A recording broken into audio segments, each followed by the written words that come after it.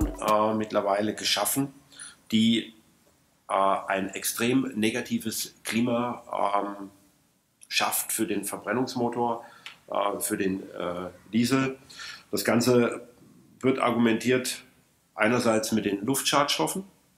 Ähm, die würde ich aber heute gerne nicht ansprechen wollen. Die Luftschadstoffe sind ein eigenes Thema, das haben wir auch separiert.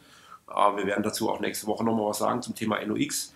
Unserer Ansicht nach und nach Ansicht aller Experten, die wir im Bundestag gehört haben zu diesem Thema, ist das Thema Luftschadstoffe weitgehend gelöst für die Zukunft.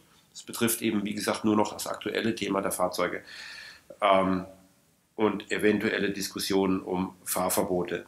Wir wollen uns heute beschäftigen mit dem Thema ähm, CO2-Emissionen des Pkw-Sektors und was die aktuellen äh, Regulierungen, die die EU plant, für die deutsche Autoindustrie oder für die Autoindustrie generell bedeuten.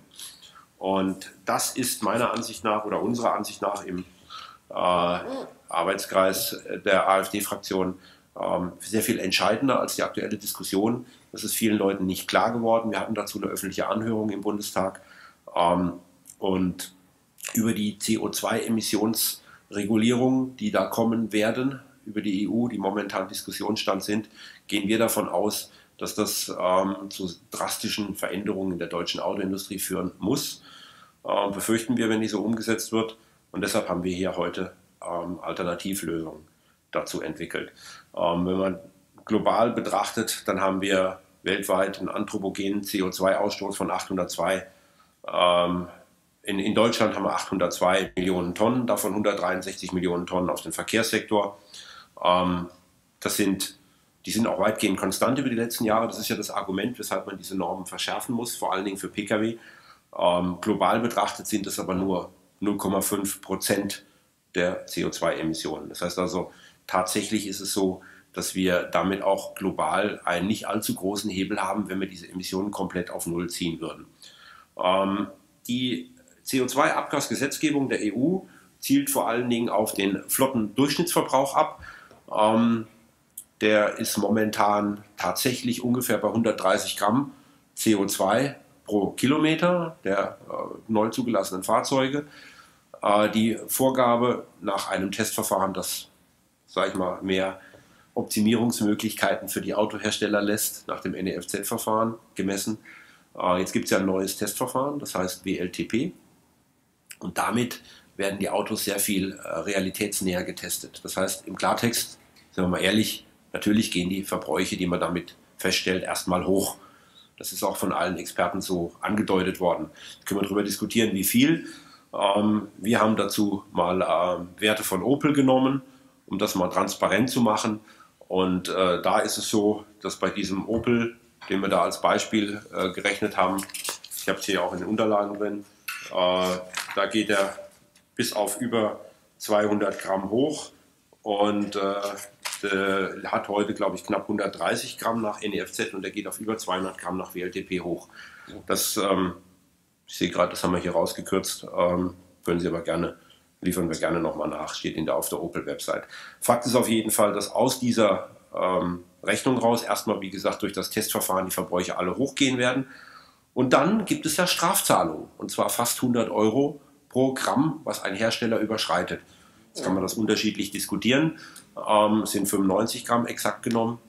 Und äh, jetzt kann man äh, immer argumentieren, ja, das ist ja der Durchschnittsverbrauch.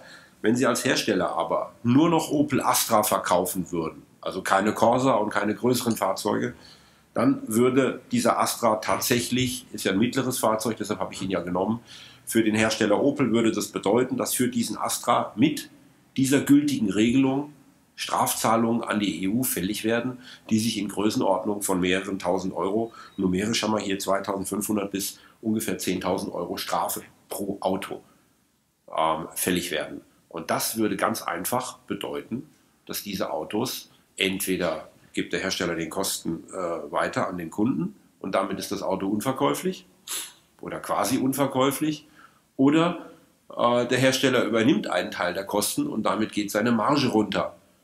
Das heißt im Klartext, auch wenn man das vielleicht nicht so ganz klar ausgesprochen hat, äh, diese EU-Regulierung, die ja dann auch noch sukzessive Verschärfung beinhaltet in den Folgejahren, also es geht ja dann noch weiter runter, führt de facto zum Ende des Verbrennungsmotors.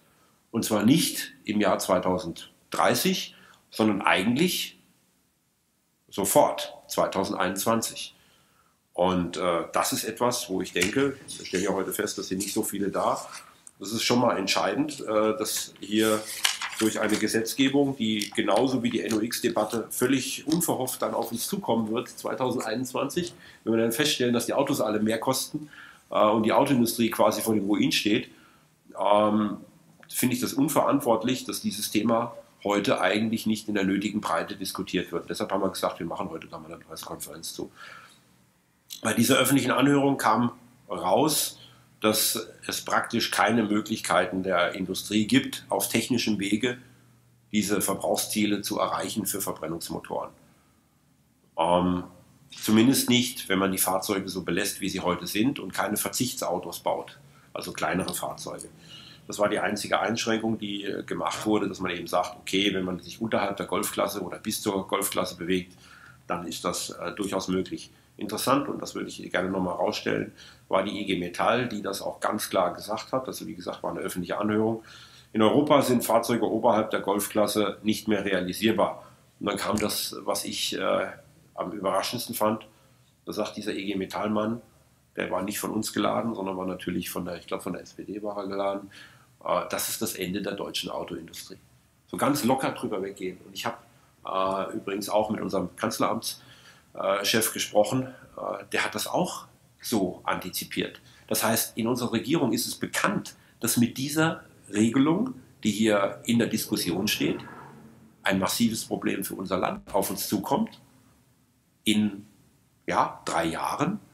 Und äh, wir tun so, als gäbe es dieses Problem nicht. Ja, also diese 95 Gramm CO2 äh, als Durchschnittswert führen eben dazu, dass da massive Strafzahlungen kommen. Es gibt, äh, wenn man das sich genau anguckt, wie gesagt, keine technischen Optionen, das für einen Verbrennungsmotor zu lösen. Das heißt, die einzige Lösung, die dann wahrscheinlich auch so kommen wird, ist die Elektrifizierung. Das heißt, es werden massiv Elektroautos von den Herstellern in den Markt geworfen werden. Diese Elektroautos führen natürlich nicht dazu, ähm, die werden als Null-Emissionsautos gerechnet. Die führen natürlich nicht dazu, dass eins zu eins Arbeitsplätze in Deutschland erhalten bleiben. Ähm, und es hat noch einen ganz anderen Effekt, über den man ungern redet. Äh, diese Elektroautos werden einfach nicht die gleichen Funktionen und Leistungsdaten haben wie die verbrennungsmotorischen Fahrzeuge. Es wird günstigere Elektroautos geben, die werden aber eine sehr eingeschränkte Reichweite haben, also für den praktischen Nutzen äh, einen erheblichen Nachteil bedeuten. Und es wird vor allen Dingen im hochpreisigen Segment wird es natürlich dann auch eine Elektroauto-Variante geben, die entsprechende Reichweiten hat wie heute. Aber wir halten das für hochgradig unsozial, weil durch Elektromobilität werden, sage ich mal, nicht so begüterte Bevölkerungsschichten und Leute, die auf ihr Auto angewiesen sind, auch gerade in der Fläche und im, äh, die als Pendler auf ihr Fahrzeug angewiesen sind, werden gezwungen, erstens ein neues Fahrzeug anzuschaffen, ja, und das ist schon mal ein erheblicher Preisbaustein. Und zweitens auch die Infrastruktur für diese Fahrzeuge anzuschaffen.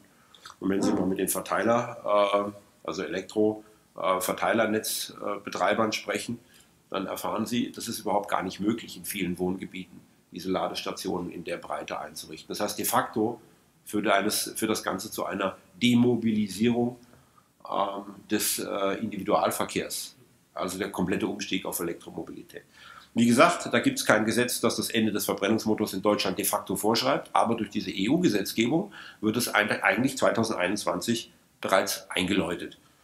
Und ähm, da sind wir der Meinung, das ist weder für unser Land zielführend, äh, für die Bevölkerung, weil wir weite Teile der Bevölkerung ausschließen von Mobilität, ähm, noch für unsere Industrie förderlich.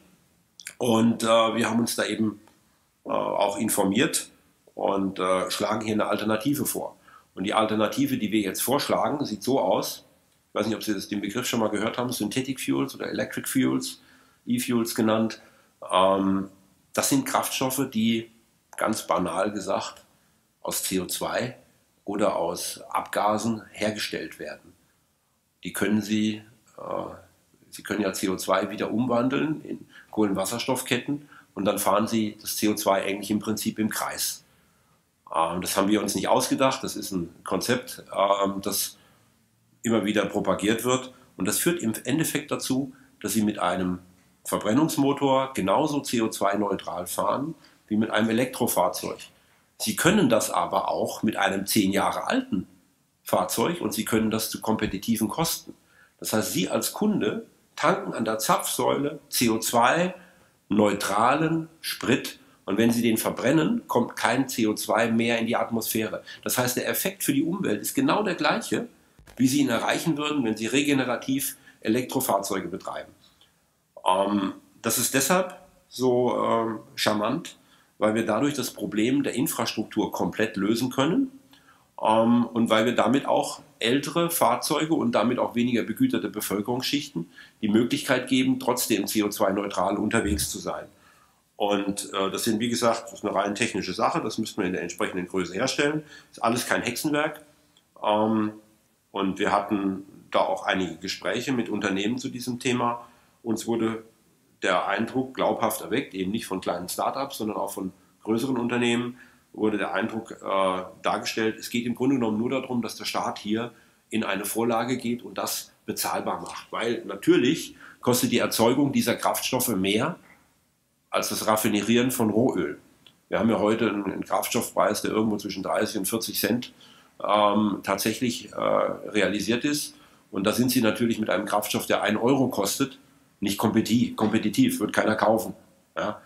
Wenn sie aber hingehen und das über die Mineralsteuer korrigieren, zumindest in der Anfangsphase, das heißt im Klartext auf diese CO2-neutralen Kraftstoffe reduziert bis gar keine Mineral- oder Energiesteuer erheben würden, dann ist das für den Kunden eine tolle Sache. Er kann in sein altes Fahrzeug diesen Kraftstoff einfüllen und er kann damit CO2-neutral sein verbrennungsmotorisch angetriebenes Fahrzeug bewegen. Das ist wie gesagt die Idee. Wir würden, werden dazu eine Vorlage, Gesetzesvorlage einbringen. Wir halten das für die richtige Lösung, auch für Europa, für Deutschland. Ähm, und äh, wir wollen im Grunde genommen damit auch die Industrie äh, in Deutschland stärken, dass wir eben als Erste mit diesem Thema kommen wollen und äh, gehen davon aus, dass ein Entfall der Mineralsteuer für diese synthetischen Kraftstoffe keinesfalls eine größere Belastung unseres Budgets darstellt als der Wegfall der Autoindustrie, was nämlich die Konsequenz wäre in der umgekehrten, äh, im umgekehrten Schluss.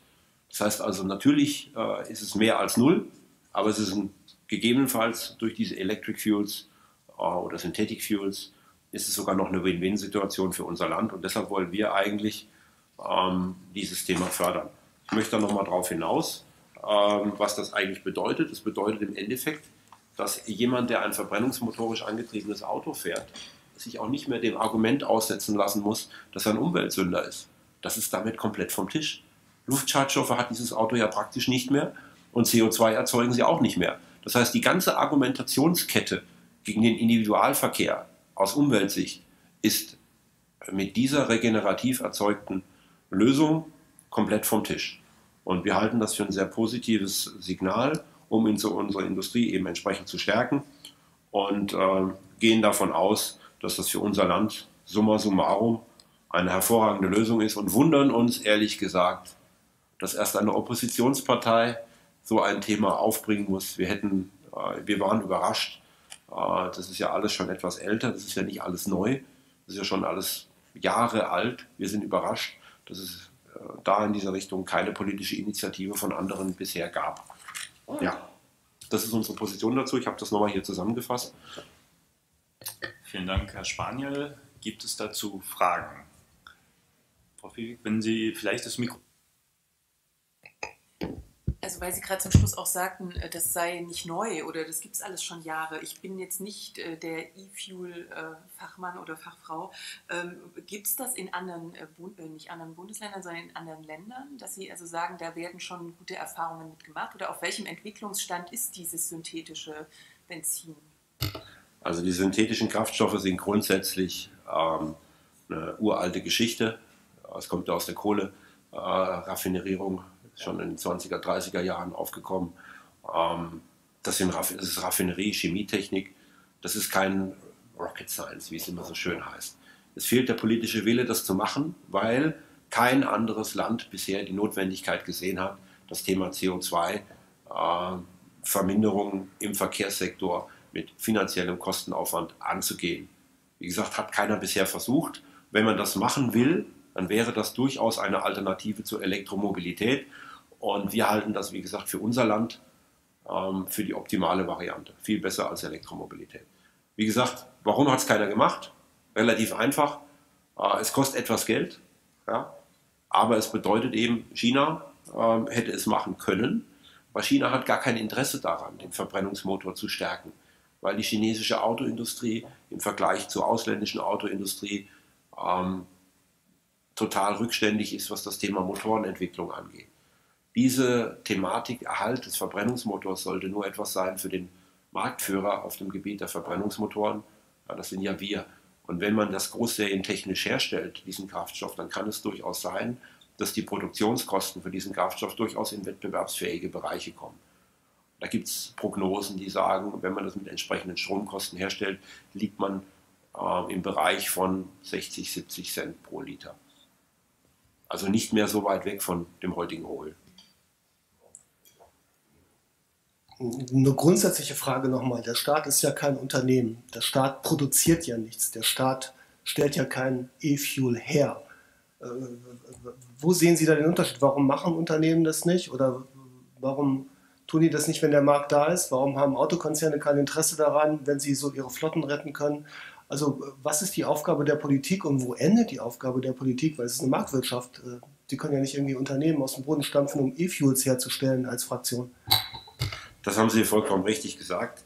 Ähm, wir halten auch nichts davon, dass man Technologie äh, gebunden in die Zukunft geht. Ähm, wir reden nur davon, dass wir die gesetzlichen Rahmenbedingungen schaffen wollen ähm, und das im Bundestag einbringen werden, dass diese Kraftstoffe eben sehr viel weniger bis gar nicht besteuert werden. Und das soll den Marktanreiz schaffen. Natürlich, da haben Sie vollkommen recht, ein Staat sollte eben nicht die technische Lösung vorgeben. Aber genau das macht unser Staat im Moment, indem er eine Ladeinfrastruktur für Elektroautos auf Steuerzahlerkosten finanziert und indem er auch eine Brennstoffzelleninfrastruktur finanziert. Das halten wir genau für den falschen Weg. Wir gehen davon aus, dass der Markt entscheiden muss, was eine tragfähige Lösung ist und dass Kunden sich selber frei entscheiden dürfen und natürlich auch Unternehmen sich frei entscheiden dürfen. Wie gesagt, es ist genau das Gegenteil, was gerade passiert. Der Staat finanziert im Prinzip durch staatliche Zuschüsse eine Elektroinfrastruktur, die aber die Probleme in diesem Land niemals vollständig abdecken wird und natürlich auch, wie wir denken, eine insgesamt unwirtschaftliche Lösung darstellen. Jetzt geht er wieder. Äh, Sie sprachen davon, dass die nicht begüterten äh, Bevölkerungsschichten gerade bei den teuren Elektroautos nicht mehr zum Zug kommen, die die große Reichweite haben. Richtig verstanden? Ähm, aber diese nicht begüterten Bevölkerungsschichten greifen doch eh eher auf Kleinwagen zurück, die das CO2-Problem gar nicht hätten. Also die kaufen sich doch keine, keine S-Klasse von Daimler. Mhm. Ich habe ja gerade eben ausgeführt, jetzt können Sie nicht begüterte Bevölkerungsschichten immer unterschiedlich definieren. Ich habe ja auch nicht von den nicht begüterten geredet, ich habe von den weniger begüterten geredet. Es gibt ja durchaus Leute in unserem Land, die fahren ein Opel Astra ja, oder ist ja ein Auto der Golfklasse. Und äh, für diese Leute wird sich das Automobil im Neukauf um, wie gesagt, bis zu 10.000 Euro verteuern mit diesen Vorgaben. Und ich halte das für eine drastische Erhöhung der äh, Mobilitätskosten für diese Leute. Und äh, das halte ich, wie gesagt, komplett für den falschen Weg. Und da kommt noch das Thema Fahrverbote hinzu. Ähm, und wenn Sie das alles addieren, dann werden Sie feststellen, diese Leute kommen um die Anschaffung eines Elektroautos im Prinzip nicht umher. Und es kommt noch was weiteres dazu. Elektroautos sind ja am Anfang gar nicht verfügbar als Gebrauchtfahrzeuge. Viele Leute kaufen sich ja durchaus ein gebrauchtes Fahrzeug. Auch weniger begüterte Bevölkerungsschichten kaufen sich tendenziell eher ein größeres Auto, wenn sie mehr Platzbedarf haben, kaufen sie eher ein größeres, aber älteres Auto. Und der Verbrauch dieser größeren, aber älteren Autos ist dann eben doch höher. Und damit steigen natürlich dann auch die äh, Gesamtkosten. Insgesamt gehe ich davon aus, äh, wenn, wenn das in der Größenordnung kommt, wie gesagt 2.500 bis 10.000 Euro für ein Auto der Kompaktklasse, dann werden sich viele Familien in Deutschland diese verbrennungsmotorischen Fahrzeuge nicht mehr leisten können. Und das kann nicht das Ziel, das Staatsziel sein. Das sollen wir verhindern. Hängt ein bisschen. Die letzte Frage. Ähm, Sie schreiben in dem Zitat, dass es dann nahezu keinen Feinstaub mehr geben würde. Ich habe es immer so gelernt, dass Feinstaub nicht durch Verbrennung entsteht, sondern durch den Abrieb der Räder, durch die Bremswirkung und so weiter. Also wo ist da der Effekt? Oder habe ich das falsch verstanden? Das haben Sie richtig verstanden. Ähm, es geht hier um den verbrennungsmotorisch erzeugten Feinstaub. Ähm, der Feinstaub, den Sie ansprachen, der wird auch mit Elektromobilität immer vorhanden sein. Ähm, das, ist, das ist ja kein Unterschied. Wir reden hier ja von der Alternative Synthetic Fuels im Vergleich zu Elektrofahrzeugen. Also der Effekt ist der gleiche, dass Elektrofahrzeuge haben den gleichen Feinstaubeffekt wie auch E-Fuel-Fahrzeuge. Es ist kein Unterschied. Darauf bezieht sich dann sozusagen. Das war der Intention. Also kein, ja. Gut, ja, bitte.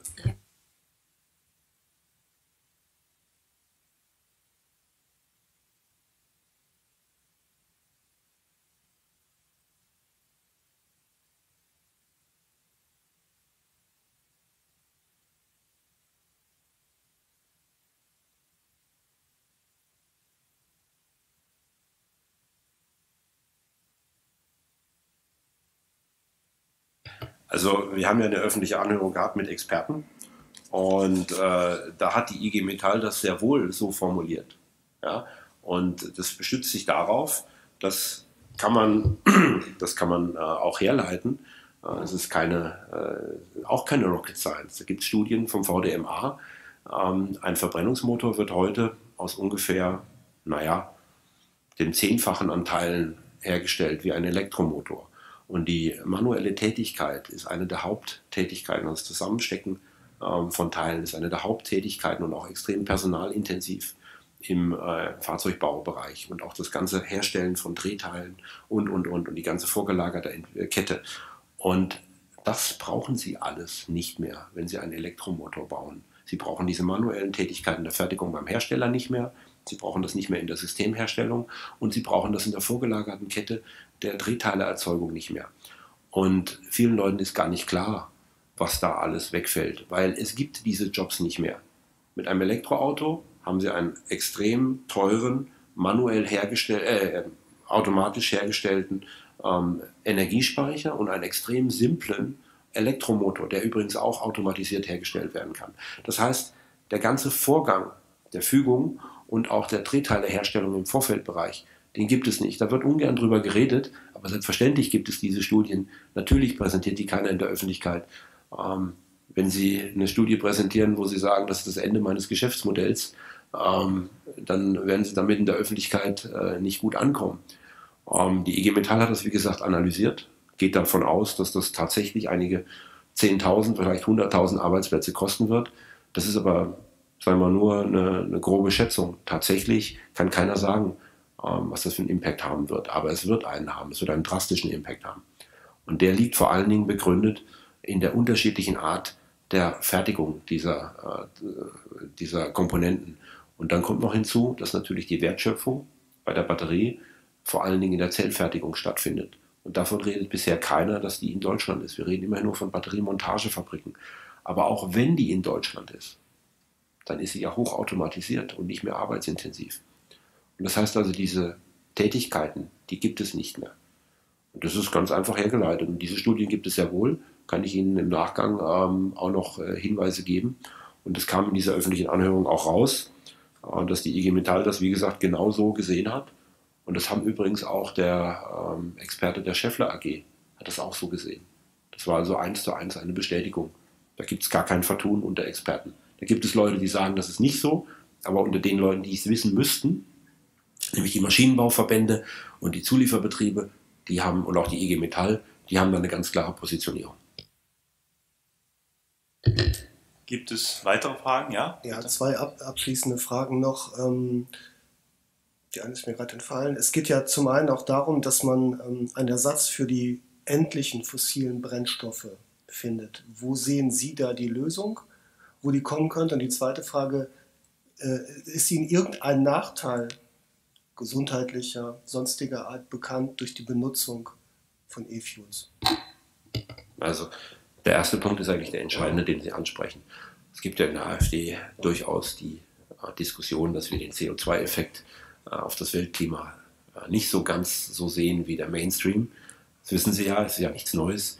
Ähm, aber es besteht durchaus Einigkeit darüber, dass das Verbrennen von fossilen Ressourcen ähm, endlich ist und dass es nicht eine wie man immer so schön sagt, nachhaltige ähm, nachhaltige Vorgehensweise ist, ähm, Stoffe, die in Tausenden von Jahren in der Erde entstanden sind, äh, zu verbrennen.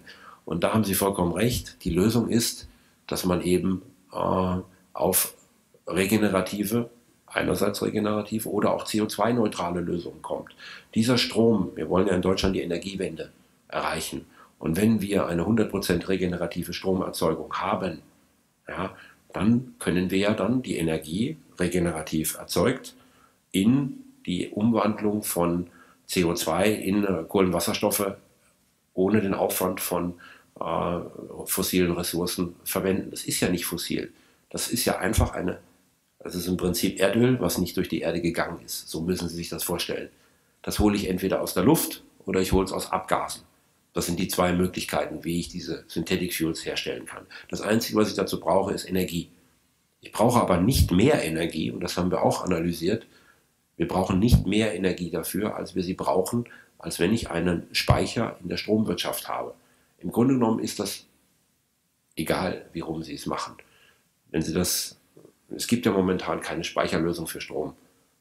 Die ist, ist ja ein ganz anderes Thema. Aber wenn es, wenn wir tatsächlich eine regenerative Energieerzeugung, eine CO2-neutrale Energieerzeugung in Deutschland haben wollen, dann kommen wir dazu, dass man eben auch dann chemische Stoffe umsetzen kann.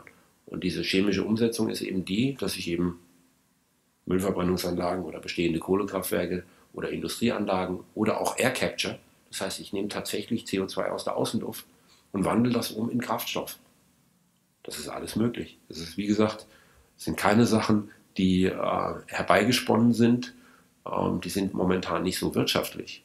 Und das ist genau der Punkt, wo wir als politische Kraft ansetzen wollen. Wir wollen dem Ganzen ein Geschäftsmodell geben, wir wollen das wirtschaftlich machen und wollen damit einen Weg aufzeigen, wie man sowohl die CO2-Vorgaben erfüllen kann und gleichzeitig aber auch die Autoindustrie und auch die Bevölkerung von der Mobilität nicht ausschließen kann und die Autoindustrie erhalten kann. Technologieoffen. Wenn trotzdem sich E-Mobilität durchsetzt, dann ist es uns an der Stelle auch egal. Wir haben Rahmenbedingungen geschaffen, die das Gesamtstaatsziel Einhaltung der CO2-Vorgaben und Erhalt der Autoindustrie äh, ermöglichen. Wir sind aber, wie gesagt, da technologieoffen und natürlich geben wir hier keine Entscheidung vor. Wir wollen nur Rahmenbedingungen schaffen, dass es einen fairen Wettbewerb gibt und wir wollen weg von direkten technischen Subventionen für zum Beispiel äh, Elektrotankstellen. Bleibt noch die Frage nach den. Ach so, die gesundheitlichen Auswirkungen. Im Endeffekt ist es ja so, dass sie CO2 nicht als Luftschadstoff werten können. Und natürlich müssen wir die Luftschadstoffe bei einem Verbrennungsmotor auf ein technisch vertretbares und gesundheitlich akzeptables Minimum runterbringen. Und da sind wir ja auf einem guten Weg. Das bestätigen ja auch alle weiteren technischen Analysen im Moment. Praktisch ist der Verbrennungsmotor sauber zu kriegen. Ähm, und dann gibt es durch einen Verbrennungsmotor keine weitere Beeinträchtigung der Umwelt, die nicht äh, Nein, es gibt keine weitere. Also ich sehe keine gesundheitlichen Beeinträchtigungen. Vielleicht können Sie mir da auf die Sprünge helfen. Mir fällt da auch nichts ein. Äh, CO2 ist ja kein Schadstoff. Und wenn ich das CO2 im Kreis fahre, was ich ja mit dieser Technik mache, ich mache ja kein neues CO2. Das CO2, das zum Auspuff rauskommt, das hole ich entweder aus der Luft oder aus anderen Abgasen wieder raus. Das heißt, es gibt keine CO2-Belastung, wenn ich das so machen würde. Deshalb, nein, mir fällt da nichts ein. Gut, wenn es keine weiteren Fragen gibt, dann danke ich für Ihr Interesse und wünsche noch einen schönen Tag. Ja, Vielen Dank. Jetzt Kanal abonnieren und nicht vergessen, Benachrichtigungen aktivieren.